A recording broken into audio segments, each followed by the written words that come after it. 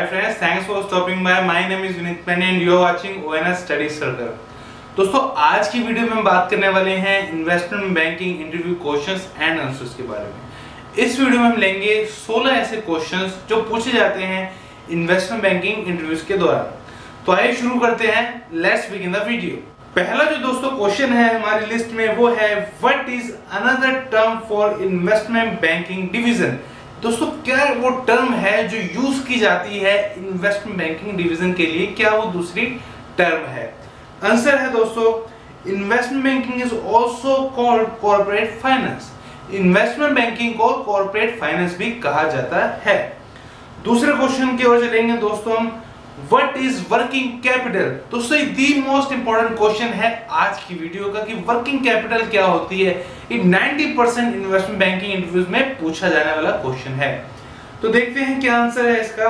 The capital of business which is use in its day to day trading operation दोस्तों वो capital है जो business use करता है रन करने के लिए अपने day to day operations day to day trading operations एक बिज़नेस चलने के लिए उसको वो बिज़नेस जो है, काफ़ी सारी एक्टिविटीज़ करता है डे टू डे तो जो एक्टिविटीज़ रन करता है, वो कैसे रन करता है? किसके बेस पे रन करता है? वर्किंग कैपिटल वर्किंग कैपिटल ही वो चीज़ है जो बिज़नेस को चलाती है बिज़नेस के डे टू डे ऑपरेशंस को चलाती है। अगला क्वेश्चन देखेंगे दोस्तों आज की लिस्ट में। What is a formula to calculate working capital क्या फॉर्मूला है वर्किंग कैपिटल निकालने का? कैसे कंपनी बिज़नेस कैलकुलेट करती है वर्किंग कैपिटल दोस्तों फॉर्मूला है working capital is equal to current assets minus current liabilities current assets में से जो हम करंट लाइबिलिटीज हटा देते हैं तो निकल के हमारे पास आता है वर्किंग कैपिटल अगला क्वेश्चन देखेंगे दोस्तों what is the monetary policy answer है दोस्तों monetary policy is a method by which the government central bank of a country controls the supply of a money तो से ये मेथड है जिससे जो सेंट्रल बैंक होता है कंट्री का कंट्रोल करता है सप्लाई ऑफ़ मनी कि मनी की कितनी सप्लाई होने वाली है। It is the availability of money and cost of money और रेट ऑफ़ इंटरेस्ट दोस्तों, ये होता है अवेलेबिलिटी ऑफ़ मनी कितना मनी अवेलेबल कराना है। कॉस्ट ऑफ़ मनी कितना कॉस्ट होगी मनी की? जैसे डॉलर की कॉस्ट ज़्यादा होती है रुपए से, कितना कॉस्ट होने वाली है मनी की? और रेट ऑफ़ इंटरेस्ट कितना इंटरेस्ट होने वाला है, कितना रेट ऑफ़ इंटरेस्ट होने वाला है? To meet a set of objectives oriented towards the growth and stability of the economy ये इसलिए कहा जाता है दोस्तों कि गोल होता है इकोनॉमी का। स्टेबिलिटी का ग्रोथ का, ये जो गोल होता है, उसको पूरा करने के लिए ये किया जाने वाला प्रोसेस है। पॉलिसी है। अगला क्वेश्चन है दोस्तों, आज की लिस्ट में what is money laundering Money laundering is the process of creating the appearance that, large chunk of money obtained from criminal activity. दोस्तों एक ऐसा प्रोसेस है जिसमें अपीयरेंस दिखाया जाता है कि large chunk of money large amount of जो मनी है वो ऑब्टेन किया जा रहा है क्रिमिनल एक्टिविटीज़ से। लाइक like, क्या क्या एक्टिविटीज़ होती हैं? Terrorist activity drug trafficking originated from lead source अगला देखेंगे दोस्तों। What are the difference between commercial bank and investment bank दोस्तों ये काफ़ी इंपॉर्टेंट क्वेश्चन है आज की वीडियो का आप इसको प्लीज़ ध्यान में रखें here are some major difference between the two the commercial bank and the investment bank पहला है दोस्तों कमर्शियल बैंक को पहले हम नज़र में रखेंगे it accepts deposits from customer and gives commercial loans using this money दोस्तों ये एक्सेप्ट करता है कस्टमर से डिपॉजिट और लोन देता है कमर्शियल लोन्स देता है यूजिंग दिस मनी उस मनी के दौरान, उस मनी को लेता है कस्टमर से और लोन देता है उसी मनी से. अगला है most of the loans made by commercial banks are held as assets on the banks balance sheet जो ज़्यादातर लोन होते हैं, ये एसेट्स दिखाए जाते हैं on the bank balance sheet अब देखेंगे दोस्तों इन्वेस्टमेंट बैंक को. It acts as an intermediary between companies and investors दोस्तों, ये इंटरमीडिएटरी का रोल अदा करता है किन में इन्वेस्टर्स और कंपनीज़ में कंपनीज़ और इन्वेस्टर्स के बीच में। It does not accept deposits deposit ये एक्सेप्ट नहीं करता। जैसे हमने बात करी कि कमर्शियल बैंक डिपॉजिट एक्सेप्ट करता है। बट रादर सेल्स इन्वेस्टमेंट ये क्या करता है? इन्वेस्टमेंट्स सेल करता है।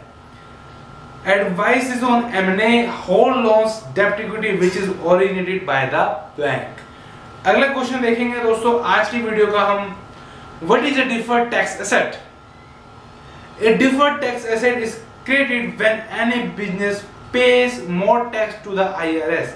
दोस्तों, तब बनाई जाती है जब बिज़नेस मोर टैक्स देता है then IRS. Then that is reported on their income statement. जितना उसके इनकम स्टेटमेंट में दिया हुआ है उससे ज़्यादा टैक्स पे कर देता है। It is created from net operating losses and difference in revenue recognition तो इसे बनाया जाता है नेट ऑपरेटिंग लॉसेज से और difference in revenue recognition what is beta beta is a measure of the riskiness of a specific stock it is calculated as the covariance between stock return and the total equity Market return divided by the change of the return given by market by default. दोस्तों, ये है major करने का कि कितना risk है। रिस्कीनेस जो है, वो मेजर करता है बेटा अब देखते हैं कैसे मेजर करता है। Stock with beta greater than one is consider risk compare to market दोस्तों, वो स्टॉक जिनका बेटा ग्रेटर होता है वन से माने जाते हैं riskier stock with beta less than one is consider less risky जिसका लेस होता है वन से वो माना जाता है लेस रिस्की अगले क्वेश्चन की तरफ़ चलेंगे दोस्तों. Why would two companies merge क्यों तो कंपनियाँ मर्ज होती हैं? क्या फ़ायदा छुपा होता है इसके बीच में? तो आइए बात करते हैं. Some important reasons behind the merger of two companies are increasing capabilities. दोस्तों, जैसे कि दो कंपनियाँ मर्ज हो जाती हैं जब तो दोनों कंपनियों की जो कैपेसिटी है, मिल जाती है और एक कैपेसिटी बनती है. जैसे मान लीजिए कंपनी है, उसकी कैपेसिटी है 100 स्टॉक सेल कर सकता है। दूसरी की है कि वो 200 स्टॉक सेल कर सकता है। मिल जाते हैं तो 300 स्टॉक सेल करने की कैपेसिटी बनती है। कैपेसिटी इंक्रीज हो जाती है। Gain a competitive advantage over larger market share. दोस्तों, दो कंपनी जब मिल जाती हैं तो उनका कॉम्पिटिटिव वो कंपटीशन में आगे और निकल जाती हैं, आगे बढ़ती हैं। बाकी जो मार्केट में कंपनीज़ है, उनसे तो एक उनको एज मिल जाता है over other companies diversifying products और सर्विसेज़ अगला है significance cost cutting of merge entity दो कंपनियाँ जब दोस्तों मिल जाती हैं तो कॉस्ट कटिंग करने में काफ़ी मदद मिलती है। अगला क्वेश्चन लेंगे दोस्तों what is CAPM CAPM is the capital asset pricing model it is design to find the expected return on investment दोस्तों ये डिज़ाइन किया गया है कि देखा जाए कि कितना एक्सपेक्टेड रिटर्न होना चाहिए इन्वेस्टमेंट में। कि कितना इन्वेस्टमेंट हमें एक्सपेक्टेड है कि वो इतना रिटर्न हमें देगी। तो ये है C A P M capital asset pricing model it allows estimating discount rate for companies cash flows अगले क्वेश्चन की तरफ़ चलेंगे दोस्तों। What is the main difference between cash based and accrual accounting क्या डिफरेंस है? आइए देखते हैं। Cash based is known as revenue and expenses when cash is received और पेड आउट दोस्तों कैश बेस्ड है वो रेवेन्यू माना जाता है या माना जाता है expenses when cash is paid out और रिसीव्ड यहाँ तो कैश आया जब यहाँ गया तब। On the other hand, accrual accounting recognize revenue when collection is reasonably certain and recognize expenses when they are incurred instead of when they are paid out in cash.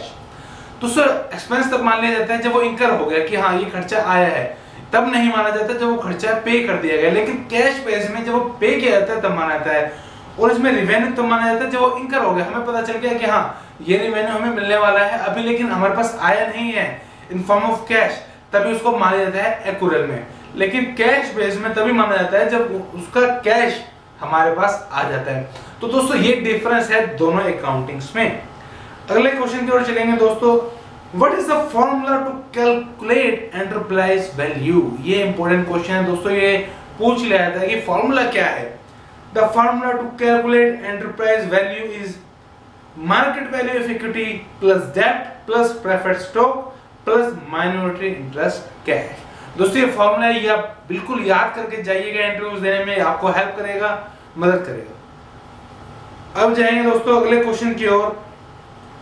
What is the meaning of goodwill how is it calculated goodwill क्या होता है दोस्तों? ये पूछा जाता है generally कि goodwill क्या है, कि देखा जाता है कि आपको नॉलेज है गुडविल के बारे में या नहीं, और कैलकुलेट कैसे किया जाता है फॉर्मूला पूछा जाता है, जिससे जो इंटरव्यू है ये देखता है कि आपको उसकी नॉलेज है या सिर्फ़ आपने ऊपर ऊपर से ही बता दिया है it is the type of intangible asset intangible asset होता है दोस्तों जिसको हम छू नहीं सकते, आप गुडविल को छू नहीं सकते।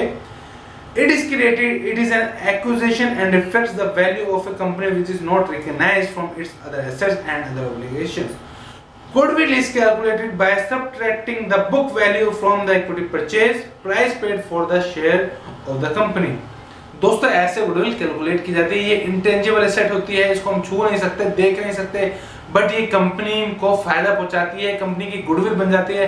जैसा आपने सुना होगा कि लोग कहते हैं कि हाँ ये ब्रांड है यार, इसकी गुडविल अच्छी है, ये अच्छा ब्रांड है। वो गुडविल होती है, जिस वजह से कंपनी कई बार डिमांड करती है ज़्यादा पैसों के लिए, उसके शेयर्स महँगे बेचते हैं, जिस कंपनी की गुडविल अच्छी होती है। तो आइए चलते हैं अगले क्वेश्चन की ओर। Explain a fix interest investment क्या होती है fix interest investment fix interest investment is long term debt security it's promise a return of all investment and their maturity rate ये प्रॉमिस कर हैं कि हाँ ये फिक्स रेट है, इससे आपको इंटरेस्ट मिलेगा at their maturity date maturity date पर। अगला क्वेश्चन देखेंगे दोस्तों। What are the things that affect the health of a stock portfolio The health of a stock portfolio always depends on its constituents and the correlation between them. For example, investors can search for stock that is negatively correlated to protect their market portfolio.